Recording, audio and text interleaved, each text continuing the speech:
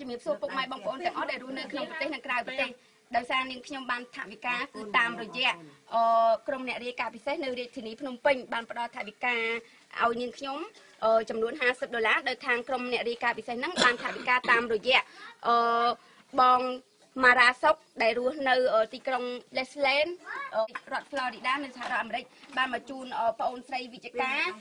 ដែលមានមុខរបរនៅកដោចានៅក្នុងស្រុក ថ្មកោខាងឃុំរងជ្រៃហើយផ្ទះរបស់ប្អូនស្រីអឺចូលតាមវត្តរងជ្រៃខាងទ្វារវត្តរងជ្រៃប្រហែល50ម៉ែត្រហើយនេះជាថវិការបស់បងម៉ារ៉ាសុកដែលរស់នៅសហរដ្ឋអាមេរិកណាមួយណាចាអរគុណឲ្យលឺកូនចាឲ្យលឺខ្ញុំសុំបានម្ដាយមីងអាចចាំអរគុណជំនួសអូនក៏បានដែរចាខ្ញុំអរគុណដល់អ្នកឧបត្ថម្ភដែលបាន ជួយថបការចំនួន50ដុល្លារសូមកើតសុខភាពល្អនិងអាយុវែងទៅស៊ីកាន់តែមានជាងមុន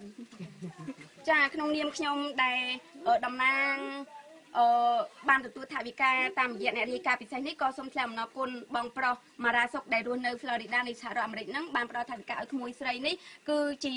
គុណបំណាច់ធំបំផុតពីព្រោះក្មួយស្រីគឺគ្នាទីទាល់ក្រឪពុកម្ដាយបានអឺចំណាក់ស្រុក ទៅធ្វើការងារឆ្លងដែននៅប្រទេសថៃដោយសារជីវភាពខ្វះខាតហើយប្អូនគឺ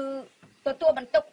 បើថាអាចទទួលបន្ទុកក៏ថាទទួលបន្ទុកបានដែរព្រោះគ្នាត្រូវការលក់ហ្នឹងបានយកលុយមកចិញ្ចឹមប្អូនបានតិចតួចដែរចាហើយសូមអរគុណបងមែនទែនហើយសូមជូនពរបងឲ្យមានសុខភាពមាំមួនអាយុយឺនយូរសូមឲ្យបងប្រកបការងារសូមឲ្យបានជោគជ័យជាពិសេសបំណងប្រាថ្នាបងដែលចង់ឲ្យខ្មែរកូនខ្មែរកុមារាកុមារីជាពិសេសប្រជាពលរដ្ឋខ្មែររួចផុតពីទុក្ខលំបាកវេទនា